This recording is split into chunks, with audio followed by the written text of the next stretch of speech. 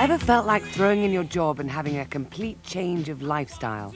Barney Bardsley was a government statistician with visions of rural bliss.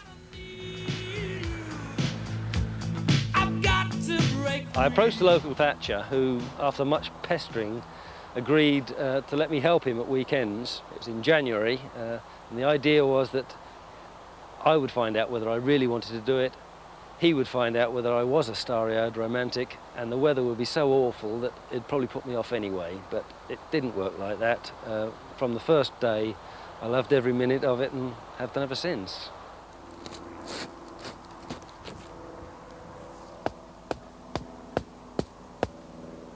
The challenge with thatch is um, that each roof is, is different.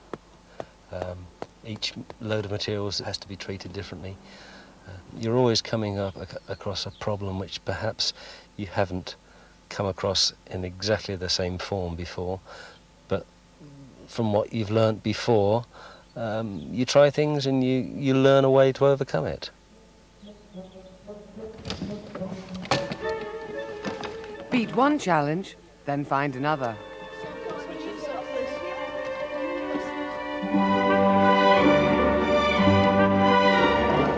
Juggling I started um, in a similar way that I started thatching. I saw someone doing it and thought, uh, that looks a good thing to do. I'm very much one for jumping at the deep end and, and going for it. If you believe you can do it, I think you can do it.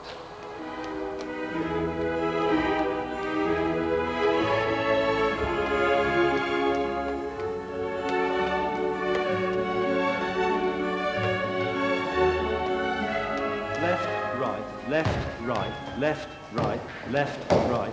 So each time the ball starts coming down to a hand that's already got one in, you release the, the beanbag that's there. If there's something I want to learn, the motivation's there, then the perseverance and the practice and the, the hours of work that's necessary to be put into it comes relatively painlessly.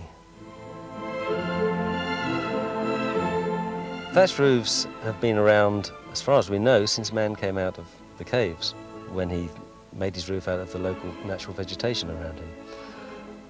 Our materials and our techniques are slightly more advanced now and uh, we would expect our roofs to last considerably longer than theirs did. Um, and I think that's an aim for most people is to, is to leave a mark. Maybe not forever, but for a fair amount of time.